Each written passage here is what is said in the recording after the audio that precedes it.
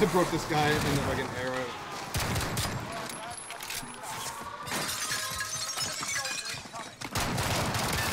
Oh, dude, there's two of them fucking both came at me, dude.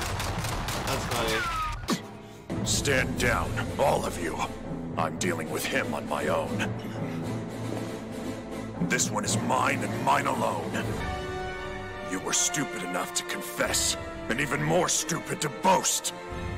Everything you've said is fuel on your funeral pyre.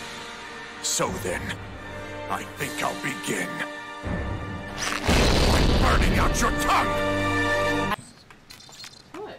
Allied cluster strike inbound.